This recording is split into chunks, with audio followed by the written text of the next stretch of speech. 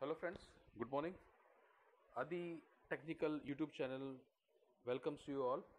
So today we are going to talk about uh, amine regeneration unit in the refinery. Or without amine regeneration unit, uh, uh, any refinery cannot work.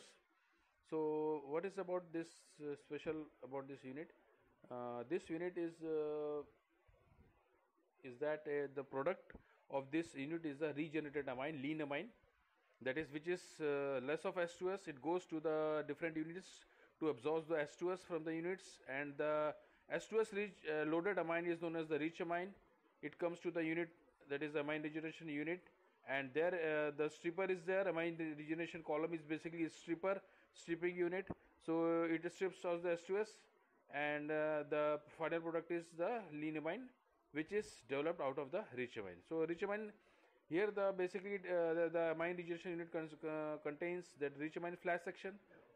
That is the rich amine solution having H2S, CO2, hydrocarbon and water vapor is flashed in rich amine flash drum to remove only hydrocarbons. Uh, and after that flashing, light hydrocarbons will go.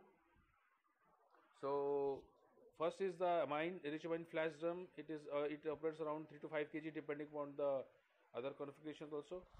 And uh, it is floated with the flare. Also then uh, from the flash it goes to the regeneration section. Uh, basically regeneration uh, section is goes to the amine regenerator column which is equipped with lp steam reboilers at the bottom. And uh, in this uh, column the amine solution is heated with the the lp steam indirectly. And this it is this column strips out the h2s co2 and, and other gases which which goes to the top of uh, the amine uh, uh, overhead receiver that and from there it goes to the sulfur recovery unit. So in case of any shutdown of this uh, sulfur recovery unit the, all the gases goes to the H2S phase. So it is this is in the short of the amine regeneration unit. So likewise we will discuss about all the other units. Thank you. Hello friends. Good morning. Adi